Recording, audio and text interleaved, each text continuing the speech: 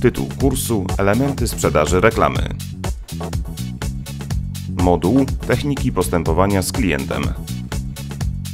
Temat Komunikacja niewerbalna.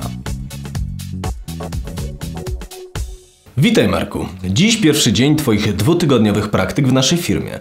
Zanim jednak zaczniesz prowadzić rozmowy handlowe z naszymi klientami, chciałbym, żebyśmy omówili różne rodzaje komunikacji niewerbalnej, które często potrafią przekazać nam więcej niż wypowiedziane słowa.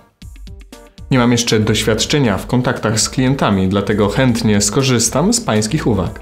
Z pewnością wiesz, że każda rozmowa handlowa musi opierać się na rozpoznaniu potrzeb i problemów klienta.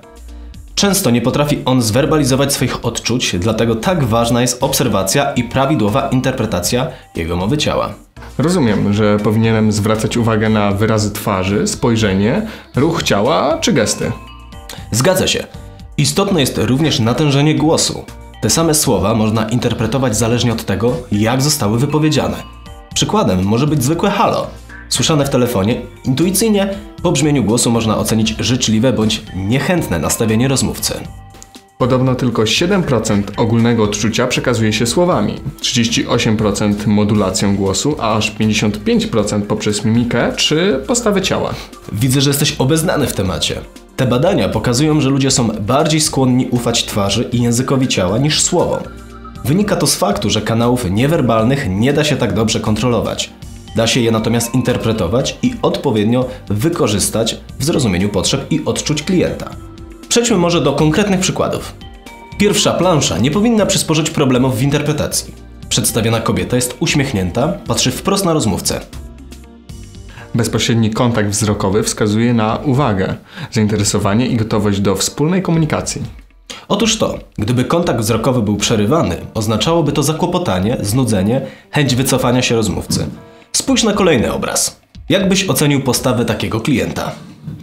Spuszczony wzrok świadczy o skupieniu, zaabsorbowaniu własnymi myślami. Bardzo dobrze. W przypadku klienta, który uporczywie wpatrywałby się w jeden punkt, mielibyśmy do czynienia z silną, nieugiętą postawą, skoncentrowaną na problemie.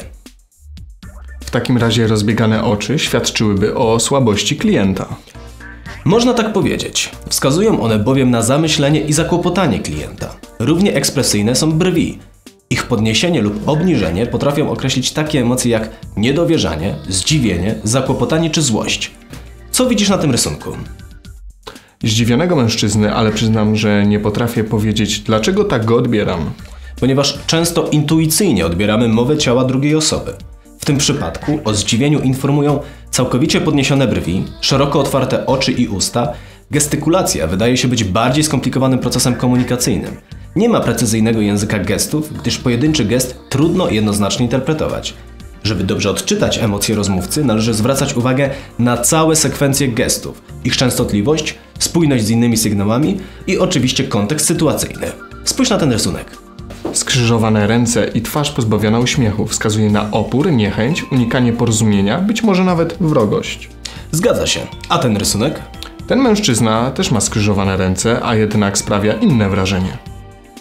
Wyprostowana postawa ciała, szerokie rozstawienie nóg i uśmiech wskazują tutaj na pewność siebie, zrównoważenie i siłę rozmówcy. A jakbyś zinterpretował zachowanie klienta, który wzrusza ramionami? Hmm, wzruszanie ramionami może wskazywać na lekceważenie, niechęć, być może nawet irytację. Z pewnością masz rację.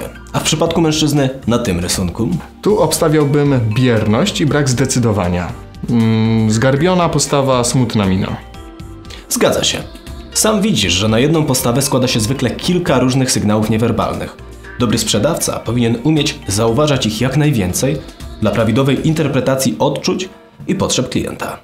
Materiał został opracowany w ramach projektu Model systemu wdrażania i upowszechniania kształcenia na odległość w uczeniu się przez całe życie, współfinansowanego przez Unię Europejską w ramach Europejskiego Funduszu Społecznego.